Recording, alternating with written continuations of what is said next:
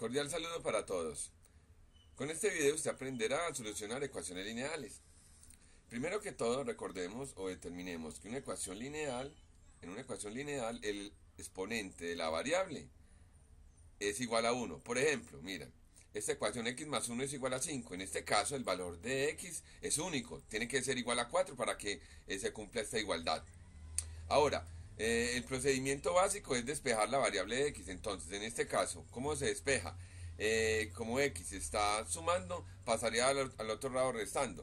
Eh, la operación que se realiza es que se resta ambas partes. Entonces aquí me quedaría 1 menos 1 y se cancelaría y aquí me quedaría el menos 1. Entonces lo vamos a, a resumir directamente. Si es positivo lo pasamos negativo y si es negativo lo pasamos positivo. Entonces en otras palabras de esta ecuación me quedaría x igual a 5 menos 1. Y en efecto, eh, x, 5 eh, menos 1 me daría 4. Ahora vamos a ponerle más, más complejidad. Por ejemplo, digamos que 2x más 3 es igual a 10. Entonces, en este caso, entonces, eh, lo primero que debemos hacer es despejar el, el, el, 3. El 3, como es positivo, lo pasamos a restar. Entonces me quedaría que 2x sería igual a 10 menos 3. ¿Listo? Después, ¿qué se hace? Este 2 que está multiplicando pasa a dividir. Eh, la operación que se haría es dividir en ambas partes. Entonces aquí 2 dividido 2 se cancelarían. Y acá me quedaría dividido por 2. Entonces se simplifica muy simple. Cuando esté multiplicando, pasa al otro miembro a dividir. Y si estuviera dividiendo, pasaría a multiplicar. Entonces acá me quedaría ya la x ya, ya despejada. En el numerador 10 menos 3 me daría 7. Y en el denominador me quedaría 2. Quiere decir que la respuesta es 7 medios expresada en números racionales o 3,5 expresado en números decimales.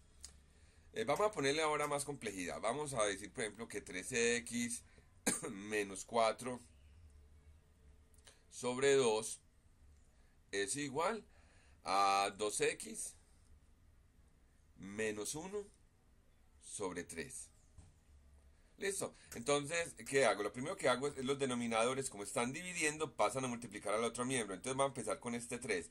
Va a pasar a multiplicar con 3x menos 4. Entonces, ¿cómo me quedaría? Quedaría que 3 multiplica con 3x menos 4. Igual, y este 2 yo lo paso a multiplicar con 2x menos 1. Multiplica 2 que multiplica 2x, eh, 2x menos 1. 2x menos 1. Muy bien. ¿Cómo quedaría acá? Apliquemos la distributiva. 3 por 3, 9. Entonces me quedaría 9x. Y, y 3 por menos 4 me da menos 12. Ese sería en el primer miembro. En el segundo miembro, 2 por 2x me queda 4x.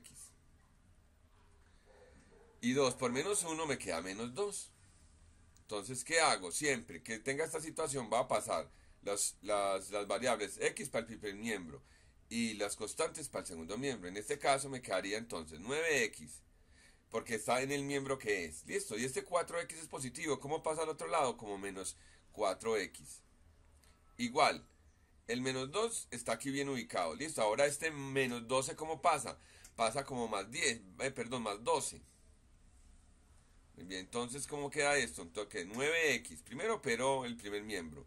9x menos 4x me queda 5x. Entonces aquí 5x es igual. Y acá, menos 2 más menos 2 más 12 me da 10. Entonces, por último, como lo hicimos en el ejercicio anterior, este 5 pasa a dividir.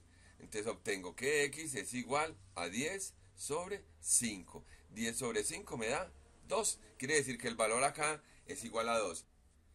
También podemos encontrar ecuaciones lineales con números racionales. Por ejemplo, 2 tercios de x. Entonces 2 tercios de x. Eh, más, digamos en este caso, más 3, más 3 quintos. Sea igual a un octavo, por ejemplo lo primero que tenemos que hacer es este número, pasarlo que está en el primer miembro, pasarlo al segundo miembro. Como es positivo, pasaría a negativo. Entonces me quedaría que 2 tercios de x sería igual a 1 octavo menos 3 quintos. ¿Listo? Entonces, el mínimo común denominador del 8 y el 5 es el 40. Entonces, ¿cuántas veces está el 8 en el 40? Está 5 veces. Lo multiplico por el numerador, entonces 5 por 1 me, da, me queda 5. Menos porque es menos.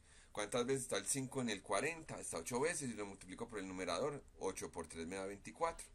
En el numerador me quedaría entonces menos 19 y en el denominador 40. ¿Listo?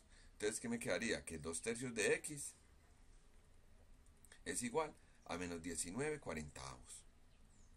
Entonces ahora, eh, vamos a multiplicar, vamos a despejar x como el 2 pasa a multiplicar con el 40 y el 3 pasa a multiplicar con el 19. Entonces obtengo que x es igual a 3 por menos 19 me da menos 57. Y en el denominador 2 por 40 me da 80. Quiere decir que el número que satisface esta ecuación es el, menos, el número racional menos 57 ochentavos.